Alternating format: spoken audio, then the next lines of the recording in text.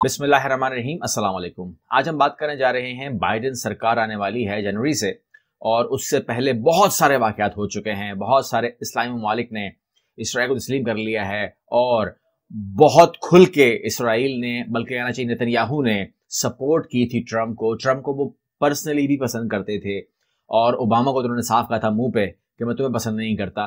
तो वो step matter कर रही थी, लेकिन हम बात कर रहे हैं कि अब हालत बदल गए हैं। बाइडन की हुकूमत आ चुकी है।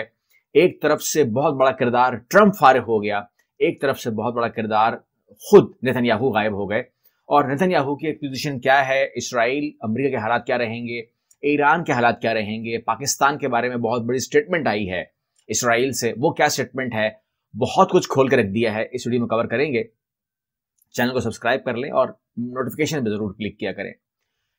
इसराइल ने खुल के हिमायत की है ट्रंप की, और वो हार गए। तो यहाँ पर जो हमारी, यहाँ नॉर्मली बातचीत होती है, वो ये होती है कि जो इसराइल चाहता है, वो जीतता है तो वहाँ पर नज़र नहीं आ रहा ऐसा।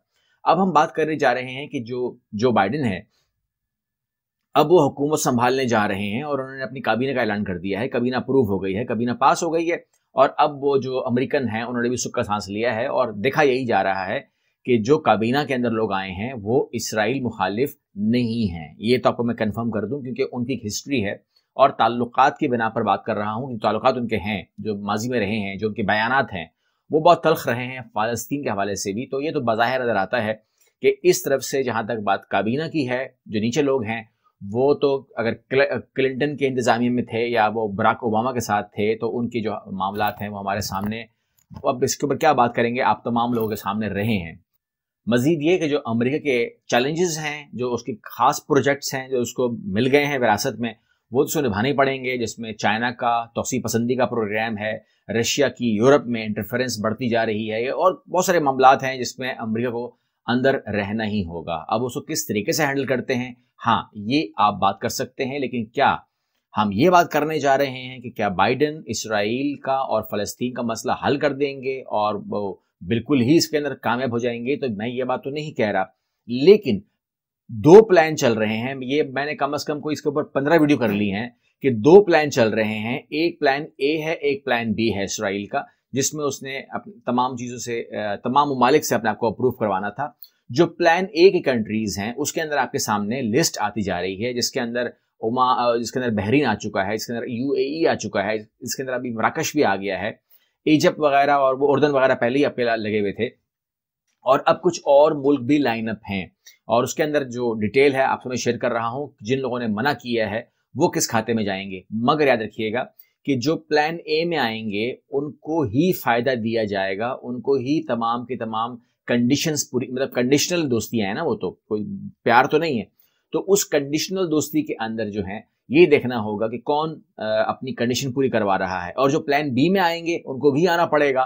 तो प्लान बी के अंदर कुछ नहीं मिलेगा उन कंट्रीज़ को जो उसका हिस्सा बनेंगे। लेकिन मैं उनकी बात आखिरी में कर लेता हूँ। फ़िलहाल ये कि बाइडेन से जो उम्मीद की जा सकती है वो ये कि जो फ़लस्तीन लिबरेशन ऑर्गेनाइजेशन का दफ्तर है अमेरिका में, वो बहाल हो सकता है। और जो यरूशलम, मशरकी यरूशलम में जो दफ्तर है अमरीकी कौंसल खाना है बल्कि, जहाँ पर एक ऑफ़िस कायम है खिदमत के लिए फ़लस्तीन का।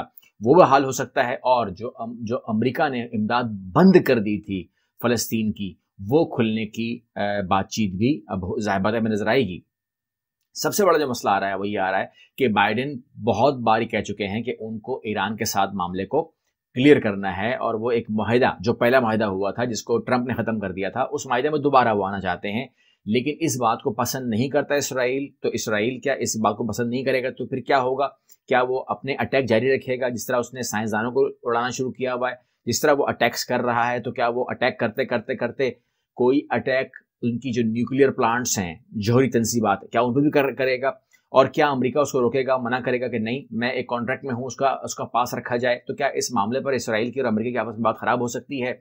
और क्या इसराइल जो है, वो पूरे के पूरे जिसको ब्रोकर डील के ज़रिए ही मिलाया गया है, क्या उनकी बैक के साथ एक सुपर पावर बन रहा है? यानी कि उसके पीछे जो कंट्रीज़ खड़ी हो रही हैं, जिनके पास इस टाइम तो पैसा है फ्यूचर का पता नहीं है, लेकिन बहुत बड़े बड़े मुल्क वो मिलाते जा रहा है।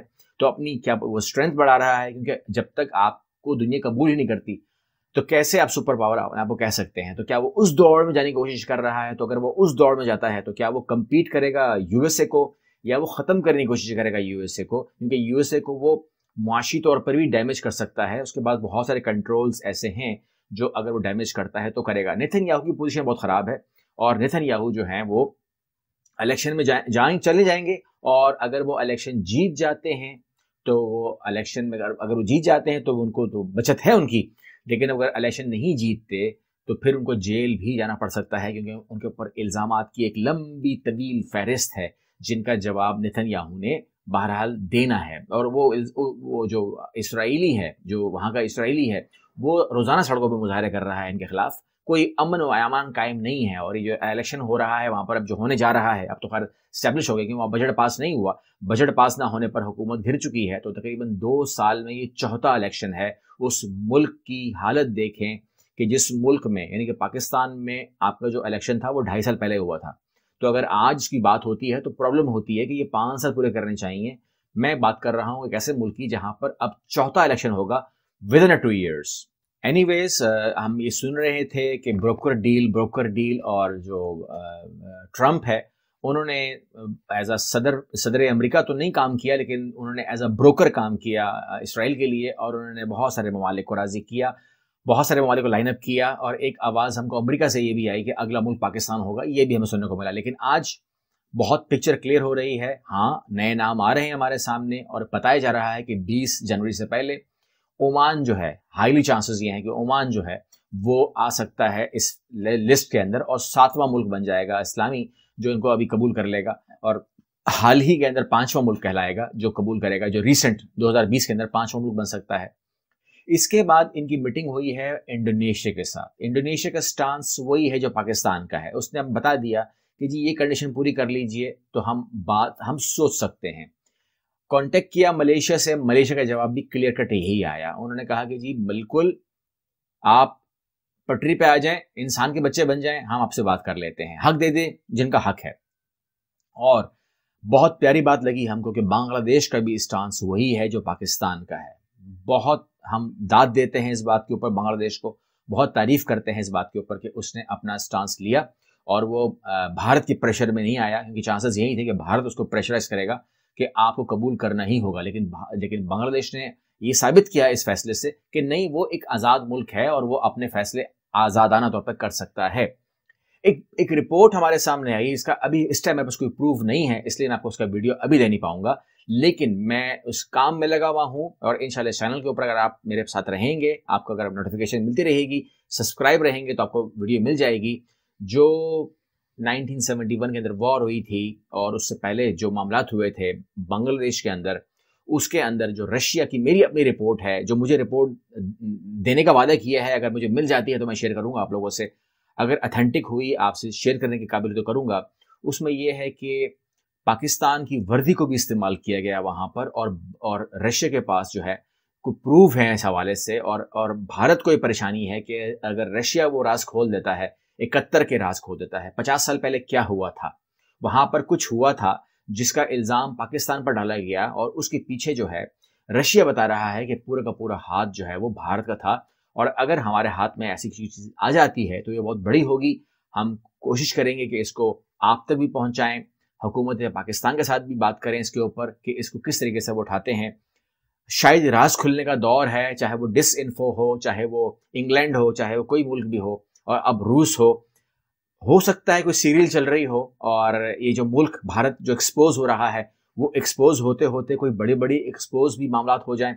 तो इससे कोई खारिज इम्कान नहीं है कि कुछ वहाँ पर हरकत हुई है, और रशिया कहता है कि मेरे इलम में है, और मैं किसी दिन भी इसको एक्सपोज कर दूँगा। कि उस वक्त क्या हुआ था। और अगर ऐसा मालूम चल जाता है तो डिस इन्फो की तरह या यूके की तरह एक तीसरा हम मुल्क बन जाएगा जो भारत का रास खोलेगा। उम्मीद करता हूँ मेरे साथ रहेंगे। अल्लाह हाफिज़।